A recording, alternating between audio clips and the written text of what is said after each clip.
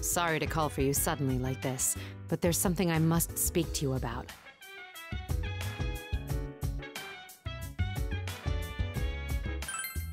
Yes, in a roundabout way. I don't mind performing for others. After all, I'm somewhat used to public appearances. However, what I'm much less comfortable with is the attire. Many of our stage costumes are very different from our normal styles. I suppose you could say that they're too bold. Some of them are downright bizarre.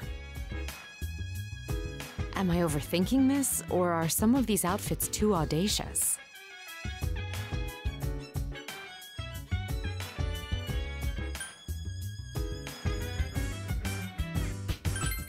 So you agree with me to an extent. That must mean we have a difference in resolve.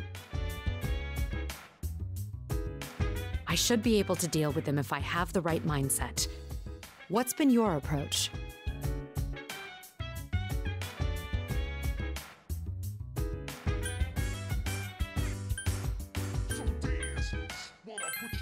I see. Then this is a challenge that I shall rise to meet.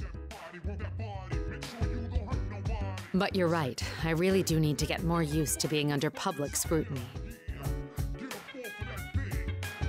I've resolved myself to succeed my father and lead the Kirijo group from here on out.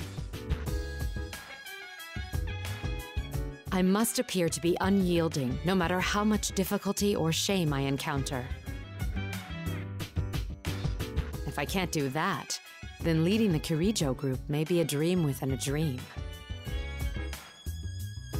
You've been a great help by listening to my concerns. I've relied on you so much since coming here. Allow me to return the favor someday.